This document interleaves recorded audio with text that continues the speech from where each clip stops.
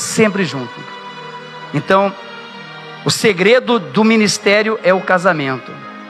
O segredo do ministério é o casamento. Na sua casa é a mesma coisa. O segredo da sua família ter sucesso é o teu casamento. É o teu marido, a tua esposa. Se você, se você é solteiro, fique em paz. Não vai procurar sarna para se coçar, não. Tá bom? Hã? Deixa eu abençoar aqui em nome de Jesus. Vou aproveitar. Pastor Israel, ele é pastor, mas aí ele ainda não era pastor desse ministério. Amém, igreja?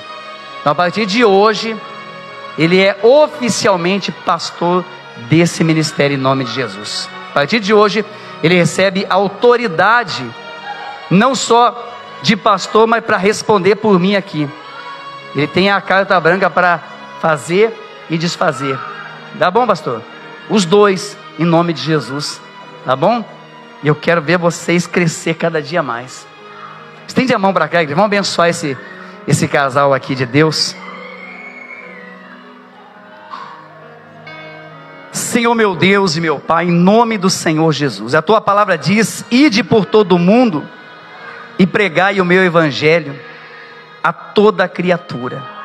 Essa é a ordem que o Senhor nos deu, como ministro da tua palavra, meu Pai.